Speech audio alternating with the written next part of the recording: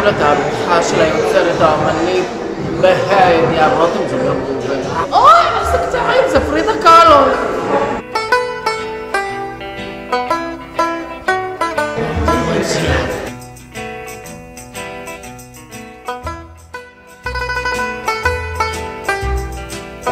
אבל מה עכשיו שירת הפחדים, וכאן אנחנו רואים את אימי וואנה.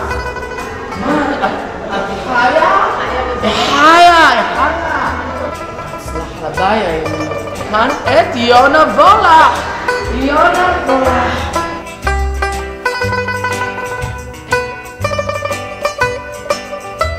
תודה רבה. כן,